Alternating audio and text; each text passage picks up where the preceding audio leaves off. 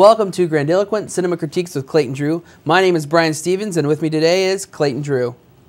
Hi, Brian. Today we're going to be reviewing I Love You Man. Clayton, I Love You Man. I love you too, man. Was it a good movie? Oh, yeah, yeah, yeah. It was pretty funny. I just can't believe the guy had no friends starting out. Why do you think he didn't have any, any friends starting out? I don't know, man. It was just like, I guess he got caught up in his life and he tried to get, he was just getting married, he had a girl. He spent all his time on this girl. And all his friends I saw in there, he, he jousted with, and that was it. What do you think this movie says about the state of male fr- friendship in America?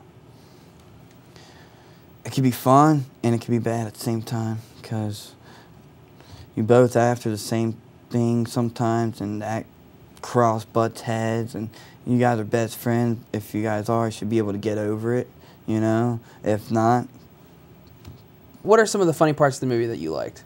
the Ben Affleck guy going slapping the bass, slapping the bass, slapping the bass. And his girl wife says, stop it. Oh, he stops it for a second and goes, slapping the bass, slapping the bass. And then one, and another part was when they're at the Rush concert and these two, these best friends are just at each other's face and this girl, he if he brings the girl because they're supposed to watch HBO, but they don't. And so he's, she's there at the Rush concert. He doesn't even talk to her at all, she says, in the whole thing. They're, they're all like, they're trying to practice their things at the concert and he's like licking his fake air guitar and everything. And then the guy that don't clean up his dog's poop, let people step in him. That was pretty funny. And then, then when um the Alpha Alfredo guy had him in a chokehold, he's like the Hulk got me in a headlock. that was pretty funny. He called him the Hulk the whole movie. It was pretty funny. now, what did you thi- think of the station? Do you think that's plausible for a guy to have a station? It's his cave. He can do whatever he wants. You know, if he wants to do that, he could and do it. You know, I don't care. I'm not doing it. I might. I, I, I wouldn't do it out in the open unless I had. Every, I go through all these procedures and everything. That would be crazy. I, that'd be just crazy. To have a little station like that. like, dude, what is that? Now, does Rush really rock? the one song that they were singing in there because I really haven't heard much of Rush, but the one that they sang in there sounded pretty good because like me, me, mine, you know, Yeah. you know what I'm talking about. Tom Sawyer. Yeah, Tom Sawyer, that's the one. Yeah, yep, there we go. That that one's pretty good. So that song rocked. They they they, made that song rock. What did you think when they started playing in the band together? Do you think that was a good bonding moment in the film? Did you? Oh yeah, oh yeah, oh yeah. It's two people sharing the same passion. You know, one playing guitar, the other said, "I got experience in bass."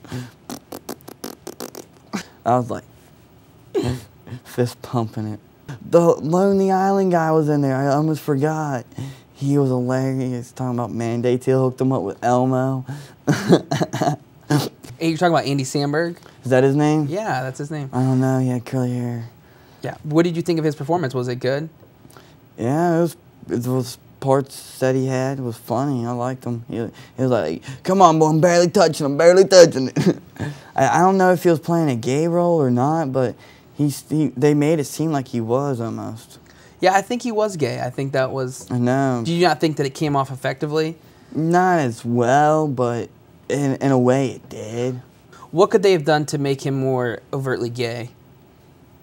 I don't know. I think they did a great job. Do you think it p- portrayed homosexuality in a good light or poorly? Eh, it, it's still whatever, you know. He, he is who he is, you know. I, I don't think he really is because I know him and some of his songs he sings, but that'd be way crazy. But it would be funny at the same time, you know.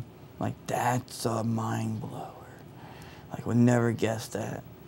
Would you have guessed it? I wouldn't have. Oh, I wouldn't have. All right, I love you, man. Let's get let's let's hear it, Clayton. How many winks? Four? and a half. Four and a half winks.